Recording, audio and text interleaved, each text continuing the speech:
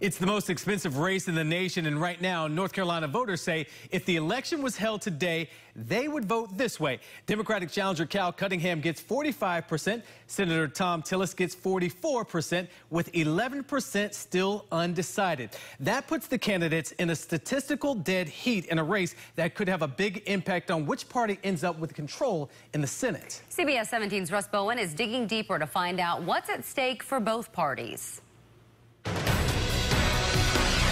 Not since five-term Republican Jesse Helms has anyone been able to hold that same North Carolina U.S. Senate seat for more than one term.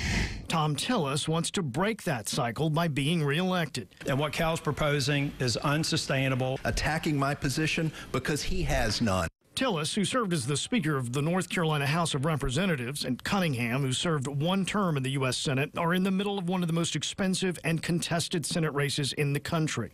The polls have shown a consistent lead for Cal Cunningham, but that lead is tightened after revelations of an extramarital affair. A CBS 17 Emerson poll now has the race at a statistical tie. This campaign is not about my personal life, and I appreciate your question. The campaign is about the people of North Carolina.